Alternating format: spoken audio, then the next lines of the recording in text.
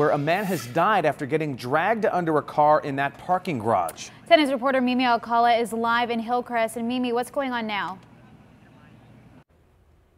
Well, police have a portion of the street still blocked off as they continue to investigate. These are at the condos at 1250 Cleveland Avenue here in Hillcrest. This all happened around 420 this morning when a man, a homeless man, asleep outside of this parking garage, possibly in his 20s, uh, he was sleeping there when a woman who was driving a white Mercedes, I don't know if you can see it inside if we zoom in, opened the garage door to get in. She lives here at this complex. She says she didn't see the man and ran him over, dragging his body into that parking garage. We do have some video from our 10 News breaking news news tracker.